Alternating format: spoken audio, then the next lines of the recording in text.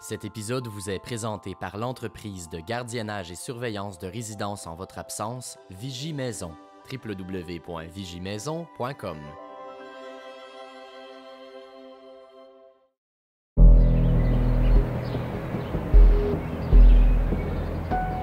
Dans l'Antiquité, ce qui fait qu'un homme euh, renonce à tout ce qu'il faisait auparavant pour se consacrer entièrement à la philosophie, ce n'est jamais un livre, mais toujours la parole d'un maître.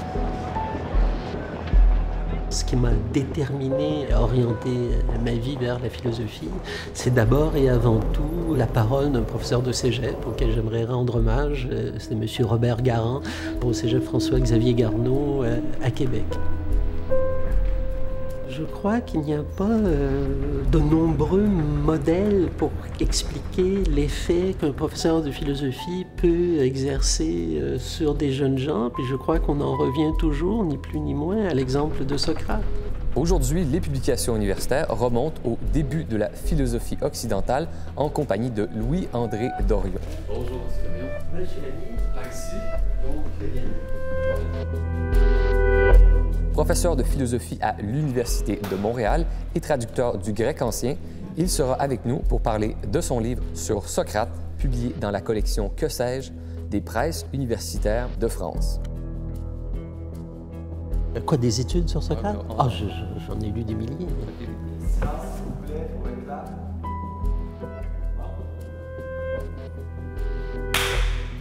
Monsieur Dorion, bonjour. Bonjour. Merci d'être avec nous aujourd'hui pour parler de votre livre. Est-ce que Socrate mérite bien son titre de premier philosophe de la civilisation occidentale? Plutôt non.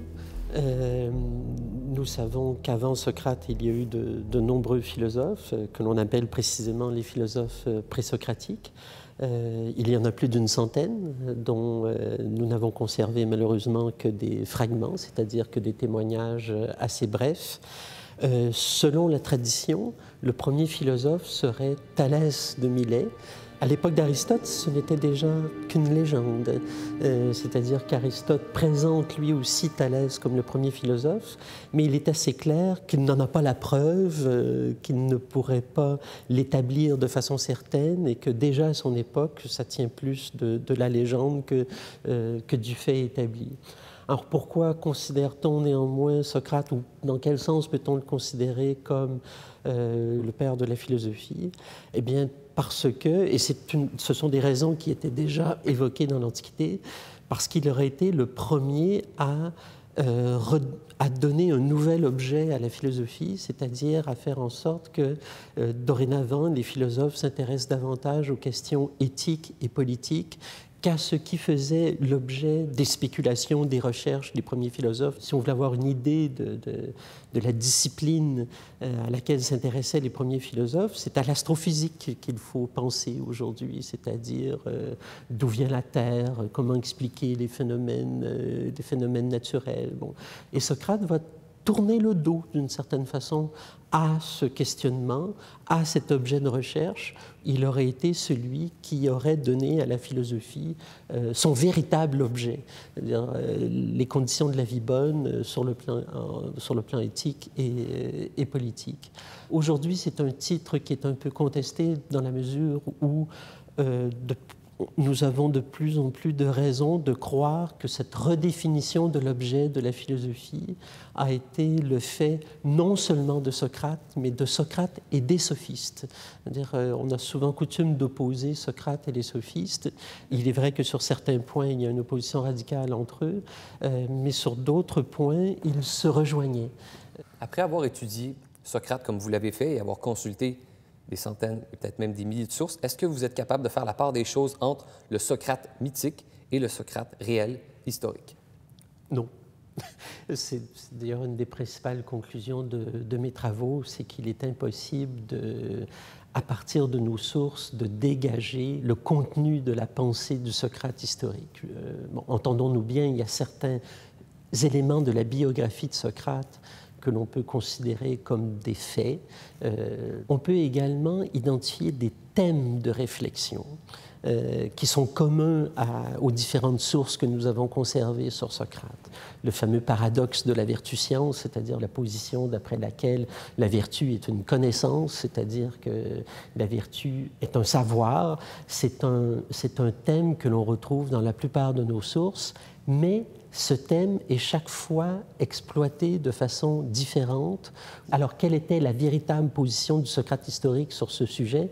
On ne le saura pas, parce que parmi les différentes sources que nous avons conservées, il n'y en a aucune dont on puisse démontrer ou établir qu'elle est plus fiable ou plus exacte historiquement que les autres sources. Et vous dites, néanmoins, malgré tout ça, qu'une chose est certaine, il a été condamné à mort. Pourquoi donc? Nous sommes certains qu'il a été condamné à mort en 399 avant Jésus-Christ. Ça nous est euh, confirmé non seulement par Platon et par Xénophon, mais par plusieurs autres sources. Donc sur ce, sur ce fait, il n'y a pas de, contestation possible. Euh, pourquoi a-t-il été condamné à mort? Alors là, c'est plus, euh, plus délicat. je vous rappelle les trois chefs d'accusation qui ont été portés contre lui. donc une accusation de corruption de la jeunesse, et deux accusations distinctes d'impiété, une qui l'accuse de ne pas reconnaître les dieux de la cité et l'autre qui l'accuse d'avoir introduit de nouvelles divinités. Donc encore aujourd'hui, euh, on ne sait pas si ces accusations ne sont pas qu'un écran de fumée pour euh, masquer une autre accusation plus grave, euh, qui est une accusation de nature politique c'est-à-dire qu'on ne pardonnerait pas à Socrate d'avoir exercé une mauvaise influence politique sur de jeunes gens de son entourage qui, pendant la guerre du Péloponnèse, c'est une guerre qui a duré 27 euh, ans, de 431 à 404 avant Jésus-Christ, et qui a opposé Sparte à Athènes, mais certains disciples de Socrate, on le sait, ont trahi la cause de la démocratie athénienne. Certains sont même passés dans le camp des Spartiates contre Athènes. Et certains ont vu en Socrate le mauvais génie politique qui a été responsable de ces décisions de ces jeunes disciples. Et on lui aurait intenté ni plus ni moins qu'un procès politique qui ne pouvait pas réellement se présenter ouvertement comme un procès politique parce qu'à la fin de la guerre du Péloponnèse, il y a eu une loi d'amnistie au terme de laquelle on ne pouvait pas intenter de procès politique pour des faits qui remontaient à la période de la guerre, d'où le procès pour impiété et corruption de la jeunesse qui lui a été intenté, auquel cas ces trois griefs ne seraient que des paravents masquant des mobiles politiques que l'on ne pouvait pas présenter ouvertement. Qui a condamné Socrate? Est-ce que c'était les citoyens athéniens assemblés oui, il a été. Euh, euh, donc, il a eu un procès euh, en bonne et due forme devant. il n'y a pas de jury dans, dans l'Athènes de, de l'époque. Il n'y a que des juges. Ils sont plus de 500. Il y a 501 juges. il y a eu deux votes. D'abord, sa culpabilité a été reconnue. Et après ce vote qui le reconnaît coupable, Socrate avait la liberté de lui-même prendre l'initiative de proposer une peine. Et euh, dans le récit que fait Platon de son procès, il est assez provocateur. Euh, parce que la peine qu'il propose, c'est d'être nourri aux frais de l'État. Euh, c'est la peine qu'il propose. Il dit, parce qu'en fait, je considère, même si vous venez de me reconnaître coupable, que je suis votre plus grand bienfaiteur. Et je considère que je mérite euh, les avantages et les privilèges que vous réservez à ceux qui ont rendu service à la cité. Euh, par exemple, les vainqueurs de, courses de chars en Olympie euh, sont nourris aux frais de l'État. Eh moi qui, qui ai consacré toute ma vie à la philosophie et au souci de vous rendre meilleur, je considère que je vous ai rendu service et je me condamne donc, je propose comme peine que je sois nourri aux frais de l'État. Ce qui évidemment a fortement déplu aux juges qui, qui, devaient juger. Et, euh, sur l'intervention de ses amis, il finit par euh, proposer comme peine une amende. Euh. Et lors du deuxième vote, le vote sera encore plus négatif que ne l'avait été le premier vote. Et c'est finalement la peine qui avait été proposée par les accusateurs de Socrate qui est retenue, c'est-à-dire la peine de mort. Monsieur Dorion, Socrate a été accusé par certains Athéniens de son époque de corrompre la jeunesse Qu'est-ce qu'on entendait par là? Nous, nous pouvons penser à, l'accusation de nature politique, c'est-à-dire il a corrompu la jeunesse en ce sens qu'il les a détournés euh, de la démocratie athénienne et euh, soit plutôt des partisans de Sparte contre Athènes. C'est une première explication. Il y a une deuxième explication que l'on trouve dans les dialogues et qu'on trouve également chez Aristophane. Socrate a corrompu la jeunesse dans la mesure où euh, il a contesté l'autorité des parents sur les enfants. Euh, c'est très clair dans la pièce Les Nuées d'Aristophane que Socrate, d'une certaine façon, détourne l'affection que des enfants doivent avoir ou peuvent avoir pour leurs parents, dans la mesure où, pour Socrate, l'autorité des parents n'est pas une véritable autorité, ce n'est pas fondée en raison. Donc, euh, il y a plusieurs Athéniens qui lui reprochent certainement d'avoir corrompu la jeunesse. Ils s'aperçoivent qu'ils auraient perdu une partie, sinon la totalité, de leur autorité sur leurs propres enfants. Quand Socrate a été accusé de ne pas reconnaître les dieux de la cité, est-ce que ça voulait dire que Socrate était athée? En fait, l'accusation d'athéisme vient de ce que Socrate comme d'autres philosophes avant lui, sur ce point, il n'est pas vraiment original, il s'inscrit dans une tradition qui le précède il conteste la représentation traditionnelle des dieux que l'on trouve chez les poètes. Euh, c'est-à-dire que chez Homère, tout particulièrement, chez Hésiode, on voit des dieux qui ont tous les défauts des hommes euh, et même euh, exacerbés, c'est-à-dire ils sont jouisseurs, menteurs, adultères, violents. bon, et pour Socrate, mais pour d'autres philosophes également avant lui, c'est une représentation qui est indigne des dieux. Et c'est une représentation qui est donc mensongère. Mais alors certains franchissent le pas, c'est-à-dire considèrent que Socrate est athée, alors qu'en fait, Socrate, je crois qu'il n'y a aucune raison de considérer qu'il ne croit pas au Dieu, euh, mais il ne croit pas à la représentation poétique traditionnelle de ces divinités.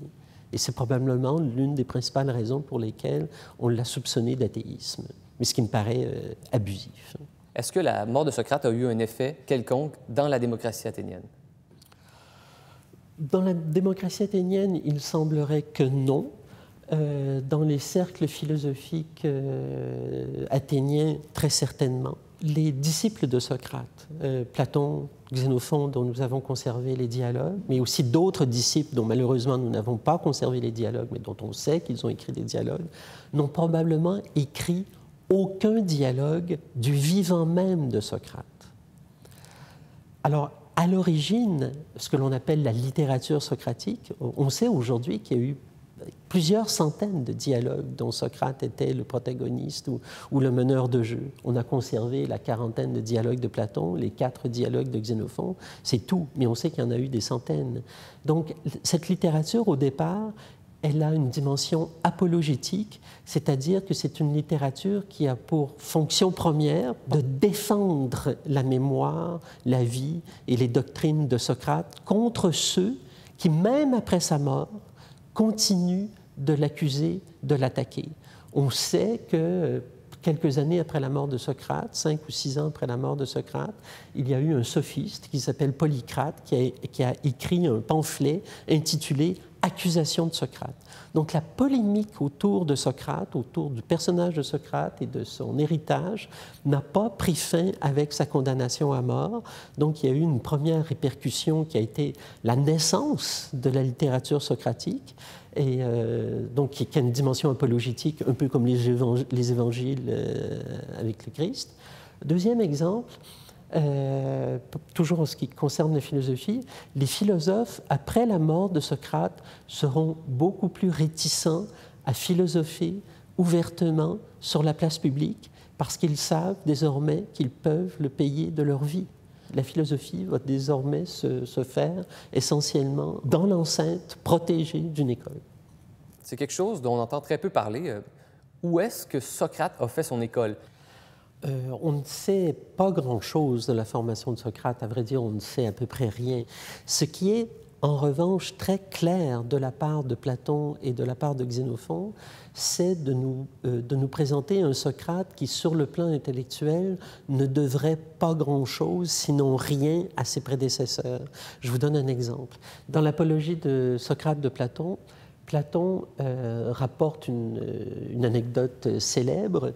Cette anecdote, c'est le fameux oracle, le de Delphes, qui le proclame euh, l'homme le plus sage. Euh, lorsque son ami Chéréphon, qui a reçu cet oracle à Delphes, vient informer Socrate que d'après la pitié, il serait l'homme le plus sage, Socrate n'en croit rien. Et pour vérifier la véracité de l'oracle, ben, il se met à interroger ses différents concitoyens pour, euh, parce qu'il est sûr qu'il va trouver un homme qui est plus sage que lui. Vous connaissez la suite. Après avoir rencontré ceux qui passent pour les plus sages, c'est-à-dire les politiciens, les poètes et même les artisans, et qu'il se rend compte euh, qu'ils ne sont pas sages du tout et que sa supériorité sur eux vient de ce que lui au moins sait qu'il n'est pas sage, sait qu'il ne sait rien, eh bien, ce récit de l'oracle est un peu le récit de l'origine de l'engagement ou de la mission philosophique de Socrate. C'est une façon certainement délibérée de la part de Platon pour éliminer toute dette philosophique, intellectuelle à l'endroit des philosophes antérieurs à Socrate ou certains de ses contemporains. Donc, M. Dorion, on a parlé du sort de Socrate et de sa condamnation, mais en plus de la philosophie, Socrate avait un mode de vie et des comportements. À quoi est-ce que ça ressemblait? Euh, je ne dirais pas en plus de sa philosophie, euh, je dirais que son mode de vie était philosophique. Euh, c'est surtout Xénophon qui nous renseigne à ce sujet. Par exemple, et Platon et Xénophon nous disent que Socrate marchait pieds nus, euh, donc sans sandales, qu'il marchait pieds nus, qu'il portait toujours le même vêtement.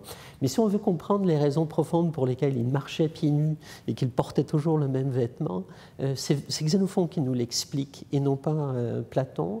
Le Socrate de Xénophon est un Socrate qui attache de l'importance au corps, non pas pour l'esthétisme du corps, mais pour le rôle éthique que doit remplir le corps. Euh, il a une morale qui est fondée sur, d'une part, la maîtrise de soi à l'endroit euh, des, plaisirs physiques, mais aussi une morale qui est fondée sur l'ascèse et sur la capacité d'endurance du corps de différentes formes de douleur. C'est-à-dire que pour Socrate, on doit entraîner son corps, on doit l'exercer à résister à la chaleur extrême, au froid, à la fatigue, au sommeil. Il s'est si bien exercé à marcher sans sandales qu'il s'est endurci et qu'il n'a pas besoin de sandales. Et qu'il s'est si bien exercé à résister au froid et au chaud qu'il euh, il peut se contenter d'un seul vêtement.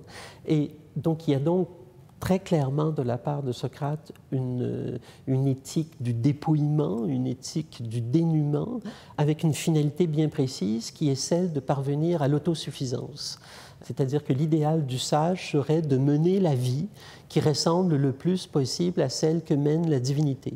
Et comme la divinité est par définition autarcique, le sage doit s'efforcer d'être le plus possible autosuffisant. Et pour ce qui est des plaisirs physiques, euh, pas seulement la capacité de résister à la douleur, mais la, la, maîtrise du plaisir, Socrate ne prêche pas une morale du renoncement au plaisir, mais il est extrêmement méfiant à l'endroit de ce que l'on appelle les plaisirs immédiats, c'est-à-dire les plaisirs qui s'offrent à nous et euh, contre lesquels on a peu de, résistance ou de capacité de, résister. Pourquoi? Parce que pour lui, par exemple, le plaisir de manger, le vrai plaisir de manger n'est pas le fait de manger une nourriture raffinée ou qui coûterait très cher, mais le vrai plaisir de manger vient lorsqu'on mange pour apaiser la faim on rapporte souvent un style oratoire et rhétorique à Socrate. Qu'est-ce que ça avait de particulier? Euh, J'éviterais peut-être l'emploi du terme rhétorique à propos de Socrate pour la raison suivante. La rhétorique, c'est la marque de commerce des, euh, sophistes, euh, qui sont les adversaires de Socrate. Socrate pratiquait plutôt que la rhétorique, il pratiquait la dialectique. Alors, essayons de, rapidement de, bien comprendre l'opposition entre ces deux modes d'argumentation. La rhétorique est le mode d'argumentation qui épouse d'une certaine façon euh, les exigences et les institutions démocratiques athéniennes. Euh, pourquoi? Dans un débat rhétorique, on a deux protagonistes qui soutiennent des thèses qui sont incompatibles entre elles. Et chacun cherche à faire gagner son point de vue. Mais ils ne cherchent pas à se convaincre l'un l'autre. Donc le but de la rhétorique, c'est de produire la persuasion chez le tiers auquel on s'adresse. Donc non pas euh, produire la persuasion chez celui contre qui en fait on, débat, mais à l'endroit du tiers. Socrate est fermement opposé à la rhétorique. Pourquoi? Parce que pour lui, le fait qu'une thèse reçoive plus de votes qu'une autre thèse n'est en aucun cas le signe indicatif de sa plus grande vérité. Donc, ce n'est pas parce qu'une thèse, une position a reçu plus de votes qu'elle est nécessairement plus vraie. Il est farouchement opposé à la rhétorique. Il y a plusieurs exemples dans les dialogues de Platon qui montrent bien que Socrate est hostile à la rhétorique. Et il préfère à la, rhétorique, ce que les anciens appelaient déjà la dialectique, qui est un mode d'argumentation où les deux protagonistes cherchent euh, à, se convaincre l'autre dans, dans, le cadre de cette discussion. Il n'y a pas de tiers. Il n'y a pas de tiers que l'on cherche à convaincre. Il n'y a pas de tiers qui vote. Il n'y a pas de procédure de vote qui trancherait en faveur de l'un ou de l'autre. Et la dialectique, donc, ça consiste à réfuter son interlocuteur, c'est-à-dire à lui démontrer qu'il se contredit. Et s'il se contredit, par exemple, lorsque Socrate demande à ses interlocuteurs qu'est-ce que la piété, qu'est-ce que la justice, qu'est-ce que le courage, et que, croyant connaître ce, que sont ces différentes vertus, euh, se contredisent au cours de la discussion, ben pour Socrate, le fait qu'une personne se contredise sur un même sujet est le signe de son ignorance. Idéalement, pour Socrate, l'argumentation, la, la discussion devrait être une quête commune de la vérité, ce que la rhétorique n'est pas. On cherche seulement à triompher de son adversaire en produisant la plus grande conviction chez le tiers auquel on s'adresse, en n'ayant à peu près aucun souci de la vérité de notre position. Tout ce qui compte, c'est la victoire de la position et non pas sa vérité. Plusieurs personnes ont décrit le physique de Socrate comme étant peu avantageux. Est-ce qu'il était repoussant comme personnalité? Euh, au contraire, et ça fait partie du paradoxe du personnage, enfin l'un des nombreux paradoxes du personnage, c'est que même s'il était, et tous nos témoignages, toutes nos sources s'accordent sur ce point, qu'il avait en effet un physique, comme vous dites, peu avantageux, il était néanmoins un formidable séducteur. Euh, plusieurs choses l'attestent. En fait, il était euh, entouré euh, continuellement de ce que l'on pourrait appeler de, véritables groupies, c'est-à-dire c'est tous les jeunes gens qui le suivaient et qui non seulement le suivaient, mais comme de véritables groupies, s'habillaient comme lui, imitaient, imitaient sa démarche, imitaient son mode de vie. Euh, mais si on cherche à comprendre les, raisons de ce, pouvoir de, séduction que, Socrate exerçait, on rejoint des raisons philosophiques qui me paraissent euh, très importantes. Le, le, pouvoir de séduction que Socrate exerce est un pouvoir de séduction qui est intimement lié à sa philosophie. Lorsque Socrate, par le biais de la réfutation, fait reconnaître à son interlocuteur qu'il est ignorant, il fait naître en lui en même temps une aspiration au savoir, un désir de connaissance.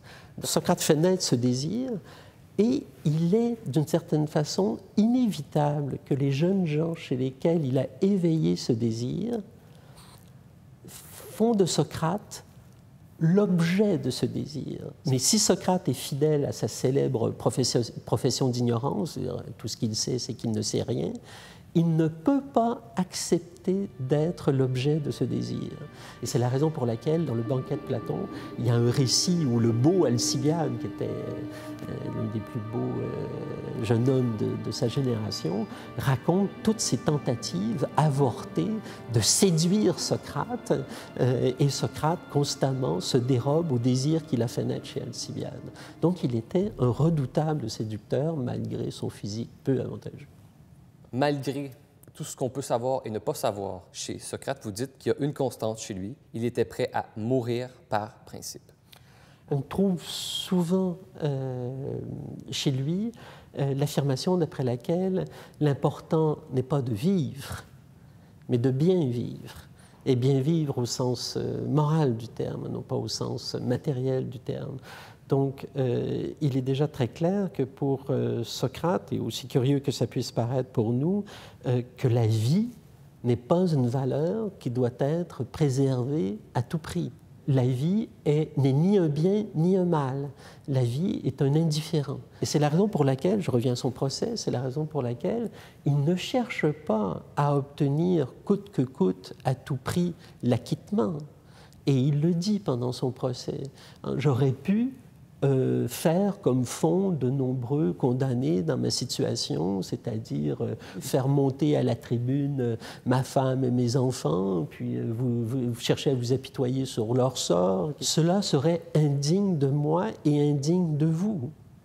Et il se défend à l'occasion de son procès de la même façon qu'il a vécu. Et je vous ai parlé de l'opposition entre la rhétorique et la dialectique. Et de fait, à l'occasion de son procès, il refuse les artifices de la rhétorique. Donc il se défend comme il a vécu, il demeure fidèle à ce qu'il a été, à la pratique de la dialectique, quitte à être condamné. Mais encore une fois, pour lui, l'important n'est pas de vivre, l'important est de bien vivre.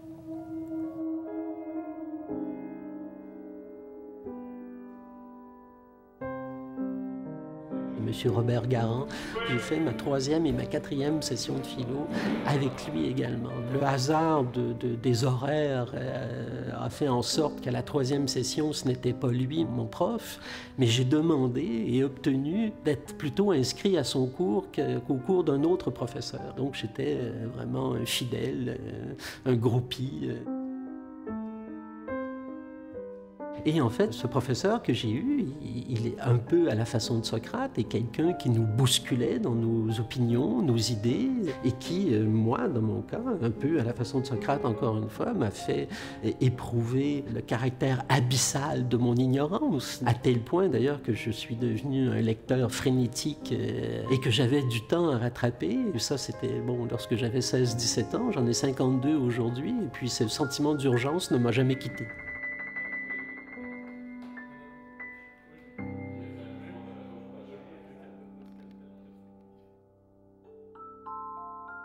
Cet épisode vous est présenté par l'entreprise de gardiennage et surveillance de résidence en votre absence, Vigie Maison, www.vigiemaison.com.